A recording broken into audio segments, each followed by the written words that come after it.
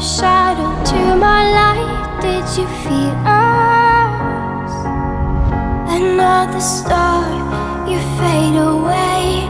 Afraid our aim is out of sight. Ah, meu início no Fortnite foi quando eu queria, sei lá, ter um teste assim pra comprar o PUBG. Eu só queria testar o Battle Royale, não me interessava pelo Fortnite.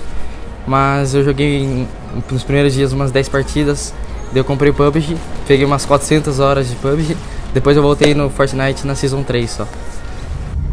Ah, a maior dificuldade que eu enfrentei foi conseguir entrar no espaço, tipo, no competitivo, na, tipo, conhecer a galera, assim.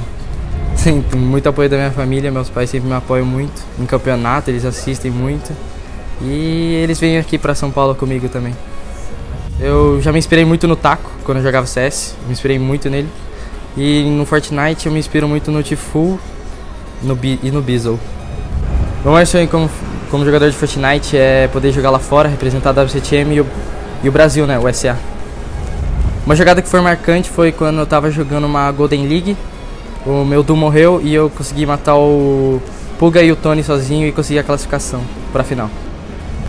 Ah, o maior desafio da minha carreira foi conseguir espaço no competitivo, assim, entrar tipo na meio que na panela da galera da Pro. Minha maior conquista atualmente é ter entrado pela WCTM, que é um- uma org muito boa.